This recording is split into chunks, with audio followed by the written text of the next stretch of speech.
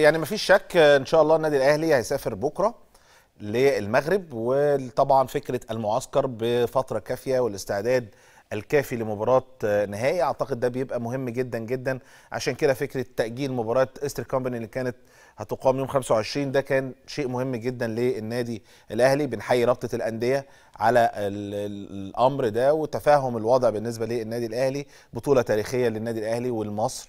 والجماهير وكل المصريين صراحة لما النادي الأهلي ياخد هذه البطوله البطولة ويتسيد أفريقيا من خلال الثلاث بطولات متتالية أعتقد ده بيبقى رقم تاريخي وبطوله تاريخية بالنسبة للنادي الأهلي. وبالتالي طبعا كان في مساندة من رابطة الأندية وأيضا نادي إيسترن كومباني اللي كان من خلال أستاذ هاني أمان امبارح بالأمس وكلامه عن رأيه في تأجيل المباراة. لكن إحنا أكيد بنحترم رأي رابطة الأندية وقرارها ومساندة النادي الأهلي في مشواره في مباراة النهائي إن شاء الله. كل التوفيق للنادي الأهلي. ولكن خليني أقول لكم إن الاتحاد الأفريقي حتى الآن ما اداش قرار خاص بالجماهير وسعة الجماهير ونصيب النادي الأهلي من عدد الجماهير اللي هيكون موجود في الاستاد استاد محمد الخامس. وبالتالي إحنا في انتظار القرار الخاص بعدد الجماهير المتاح للنادي الأهلي. في نفس الوقت استعداد للشركات المتواجدة أو للنادي الأهلي تعاقد معها لسفر جماهير النادي الأهلي برضه في انتظار الوضع الخاص والاجتماع المرتقب ما بين اللجنة المنظمة والاتحاد الأفريقي بخصوص الأمور كثيرة منها طبعا عدد الجماهير للنادي الأهلي وإزاي هتتوزع التذاكر وإزاي الأمور هتبقى متاحة للتذاكر لجماهير النادي الأهلي. هل هتبقى عن طريق الإنترنت؟ هل هتبقى في منافذ بيع للجماهير النادي الأهلي في المطار مجرد وصولهم للمطار؟ هيبقى في منافذ بيع؟ يعني لغاية دلوقتي الأمور مش منظمة بالشكل الكافي. المفروض الأمور دي تبقى من بدري قوي قوي قوي مجرد إن أنت بس تعلن عن المكان وخلاص حصل استقرار بتبتدي تدي القرارات الخاصة بسعة الجماهير بالنص بقى اللي إحنا كنا أو كان النادي الأهلي بيطالب بيها وفي نفس الوقت اللي هتبقى متاحة إزاي التذاكر دي هتتباع إزاي هتاخدها إزاي الجماهير. أمور كتيرة جدا جدا متأخر فيها جدا. الاتحاد الأفريقي واللجنة المنظمة للمباراة ودي طبعا تؤخذ على الاتحاد الأفريقي بشكل كبير جدا في حتة التأخير في كل التفاصيل.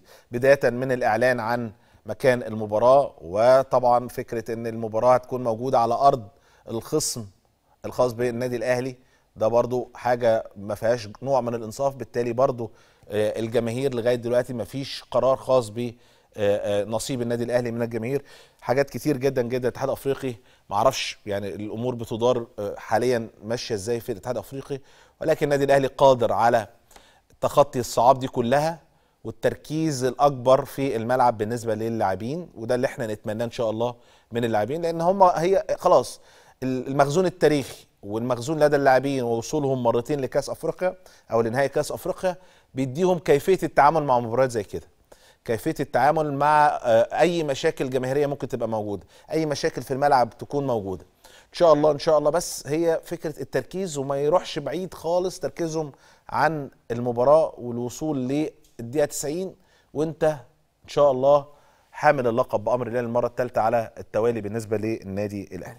عشان كده في اجتماع مرتقب ما بين الاتحاد الأفريقي والاتحاد المغربي لبحث ترتيبات النهائية لمباراة النهائي إن شاء الله في الاستاد محمد الخامس. طيب دي أمور خاصة. خليني بس أقول لكم يمكن الاتحاد الأفريقي أعلن النهارده عن الكرة الخاصة بمباراة النهائي. الشكل التسويقي للمباراة النهائية من خلال الكرة ومن خلال الكاس اللي هيتم طبعا تسليمه بعد اللقاء لبطل هذه المباراة. وبالتالي ده يمكن الشكل اللي هم أعلنوا عنه. أنا بقول لكم في حاجات مهمة أكتر من إن يبقى في كورة بتشوفها ولا الكاس حتى. أنا بقول لكم في حاجات تنظيمية أكتر كانت مهمة أكتر بكتير من إن أنا أشوف الكورة. خلاص الكوره حلوة قوي جميلة جدا والكاس جميل. كاس الاهلي الكاس النادي الأهلي شالوا 10 مرات منهم مرتين أهو متتاليتين وقبل كده أيضا مرتين لو نتذكر 2005 و2006 وبالتالي في انتظار النادي الأهلي يشيل الكاس للمرة الثالثه لكن الأهم الأمور التنظيمية الأمور التنظيمية اللي عليها خلاف كتير حتى الآن. وبالتالي الاتحاد الافريقي بيعلن عن الكرة النهائي وأيضا الصورة الخاصة بكأس أفريقيا.